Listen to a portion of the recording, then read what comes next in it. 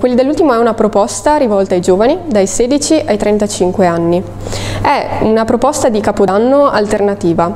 Perché? Perché è una proposta che contiene in sé la festa, contiene in sé la musica, i balli, il cibo, ma eh, contiene anche un modo diverso di fare festa. Contiene un ingrediente in più, eh, che è la condivisione.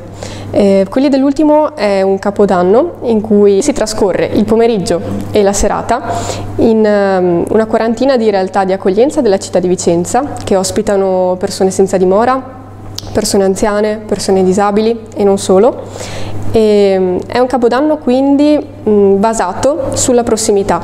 È un capodanno per chi vuole passare una festa diversa, vuole iniziare il 2020 con una marcia in più ehm, è un'esperienza forte di prossimità e di servizio. L'appuntamento con quelli dell'ultimo sarà per il 31 dicembre alle ore 14 nella parrocchia di San Giuseppe, Mercato Nuovo, Vicenza. Tutte le info e le iscrizioni le trovate sul sito www.quellidell'ultimo.it. C'è tempo fino al 23 dicembre per potersi iscrivere.